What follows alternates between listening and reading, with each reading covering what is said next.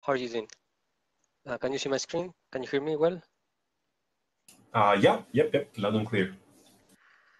Okay, so my name is Oscar, and uh, I'm going to present you deep learning inference in GNU Radio with ONNX. Uh, I was part of the of the team that developed it with uh, Kevin and Alberto.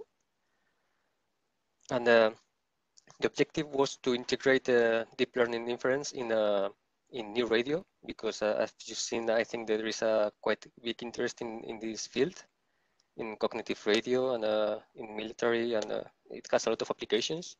So having a proper way to having a proper tool to, to facilitate these two things, uh, it's uh, quite interesting. Uh, the first part of the project was uh, to analyze the different tools that we could use in order to to carry out this this task, and uh, we uh, we ended up uh, deciding uh, to use ONNX and the ONNX runtime. And uh, basically what we uh, what we developed was an out of the tree module for a GNU Radio that uses the ONNX runtime.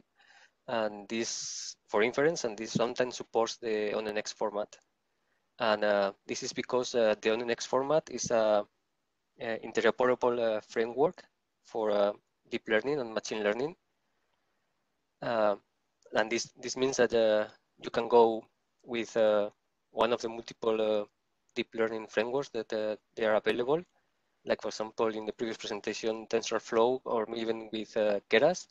But uh, you can develop it in a, you can train your, you can design and train your model in MATLAB and then transform it to, to ONNX and you, you will be able to, to load it and, and execute it or PyTorch, which is another huge one, or maybe one of the other older frameworks. It's just a, a, a format that uh, facilitates the, the exchange of the of the deep learning models. But uh, this is not uh, free, which means that uh, you need an extra step to convert your, your model into this format. And uh, there is also another problem that uh, because it's a an standardized format between multiple frameworks, not all the operations available in all the frameworks are available in ONNX. So maybe, or even you can implement your own uh, operation in some framework, and of course it won't be available in ONNX because it's a custom operation. So somehow you are limited to the operations supported by uh, by ONNX. And we we chose to use ONNX runtime because um, it has uh, native support of ONNX, and uh, it also supports different uh, hardware accelerations. Uh, you have a CPU accelerations with uh, Intel libraries. Uh, you have uh, GPU accelerations with CUDA or MN or, or MNT. You have hardware acceleration for other platforms and for uh, other hardware that is, uh, for example, uh, specific for for FPGAs, and that way we can run accelerated inference. Um, as I said, it has support to, to ONNX, which is perfect. Uh, it has uh, interf API interfaces in Python and C++ and others, but uh, Python and C++ are the GNU Radio interfaces that we need. as I said, it supports different hardware and software accelerations, and it also another part that is relevant is that, is that an, it has an extensible architecture. That means that, uh, for example, if one operation in ONNX is only supported on CPU, you are free to support it on other hardware. It's just that you will have uh, your own version of the ONNX runtime, but it's quite, let's say, easy to just uh, include something like that in, in your runtime. And uh, this is what uh, we end up implemented, implementing. Uh, it's a, a very simple block. And we use the Python uh, interface. So we use the ONNX runtime Python interface. we only support a single input for the for the model. Um, it has to be a float, and uh, we also support one single output for for the model, and we made it uh, so you can choose the the hardware that uh, it uh, it's gonna be run on, and uh, this is the configuration of the of the block. Uh, you just need to, to load the, the model. you need to specify the batch size. this will make you uh, run multiple samples at once. So you can uh, take advantage of uh, GPU acceleration, for example. uh, you need to define the, the input size of the of your model and you need to define the output size of the model and uh, as I said you need to the, to to say which device is going to be used to run the, the inference and uh, here you have an example of uh, how can you use the the block in order to run inference inside a GNU Radio. In this case, we are using a Pluto SDR source.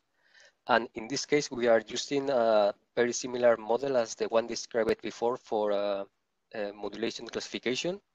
So in this case, uh, we are using an input of uh, 128 samples, which means that we are gonna be feeding the the, the model uh, 256 uh, float points, uh, 128 for uh, Qs and 128 for for Is.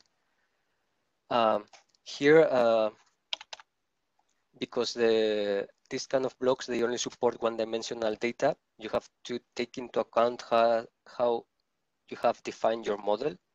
So, for example, in the previous uh, uh, presentation, they used uh, a 2 by 100, 1024, which means that the IQ are seen as, a, as different channels. But in this case, we are using a 128 by 2, which means that uh, the channels are in the last dimension. And in this case, you have to take into account that in order to configure the, the input of your of your string in this uh, of your data. In this case, because our channel is in the last position, we have you have to uh, feed it uh, a, vector with IQ interleaved. But it's, it's up to you. It depends on how you uh, define your model. It's just that you have to take into account that uh, it has to be a one-dimensional uh, interleaved data in row major order. Then you will have a uh, for each input, you will have one output. Uh, in the case of the in the previous presentation, if you had binary classification, you will have just one output saying that it's zero or one.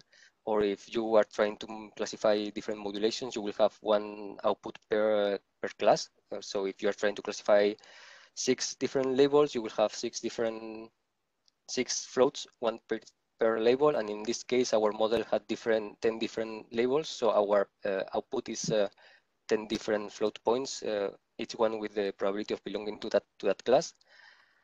And in this case, we are choosing a, a way to represent the data, um, more or less a visual way to represent the data because you have to do something with the output of, of the model.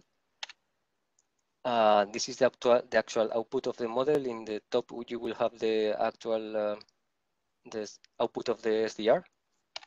This block here, the waterfall and here you have the output of the of the classification. We have to adjust the the raster sink with the same number of columns as the same number of uh, outputs. So the offset is always the same class. So each column here means uh, the output for each uh, for each label or for each class that you're trying to classify. And as you can see here, we also send the output to a UDP, so you can use it in external tools for uh, to receive the data, but it's just a matter of uh, how can you or how do you like to, to use the, the output of, of the block. If, if you want to show it or if you want to use it inside GNU Radio, it's up to you. It's outside of, of, the, of the scope of the block. Um, so this is what we did. Uh, for the future, uh, we think that it's important to increase the flexibility of the block because we are only support one input and one output, and you can define as many inputs and outputs as you want in, in deep learning. It's just that you should you should choose which ones do you want to output. Um, yeah, uh, something very important in deep in deep learning is the normalization of the input, and this is also up to your uh, architecture and uh, this is you have to do it inside of the of the model or outside in a previous step. And uh, if you do it inside of the model okay it, it's going to be inside of the ONNX model. But if you do it outside of the model you should you will have to do it on GNU Radio if you want to use the same normalization method that you, you've used in, in training. So this can get quite complex and maybe we can provide some common ways of normalization uh, we could include more examples because nowadays we have a very simplistic examples and uh, because ONNX and ONNX runtime, uh, they have become uh, quite popular, let's say, and they are the, they are putting uh, resources uh, behind them, and they are keeping a very fast pace of development. So I don't know which version are now, but I think they update it every two months or three months. Uh, so yeah, so we have implemented a GNU Radio out of the tree module for uh, deep learning inference. Uh, it's uh, it it has a in framework interoperability, so you can train your model in, in MATLAB and then just export it to ONNX, and it should work out of the box. It has hardware acceleration uh, thanks to the runtime environment we have presented this work uh, with very good results in the Software Defined Radio Academy in 2020 and the GNU Radio Conference in 2020. And we also are getting uh, questions every now and then about uh, this work. And, uh, and yeah, that uh, that's all. Uh, if if we, we can comment on the hardware acceleration, for example, we tested on a we tested this this uh, flow graph uh, with the Pluto SDR source, which is it has a USB 2 connection, and in CPU with one single bat, uh, we were getting around 3.3, 3.4 megabytes megabytes per per per second, and the same in in the GPU. And once you start increasing the batch size of, uh, you get uh, more performance even even you get uh, to saturate the usb link or even if you are trying to do inference with a file inside GNU Radio you also you also saturate the the SATA but uh, the SATA connection of the hard disk but the, this depends on, on your hardware. So the more powerful hardware you have the more performance you will be. And uh, i think that's all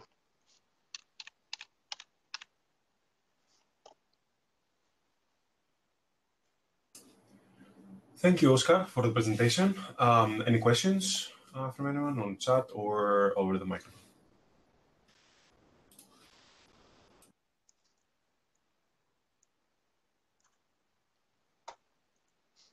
Uh, I, would like to add that uh, you can find uh, the source code documentation with examples and Docker files in the in the GitLab. So with a simple Docker pull, you will have the whole thing running even if you have a Docker with NVIDIA support, you will have a GPU support as well. So it should be, if you want to test it, is is really, really easy.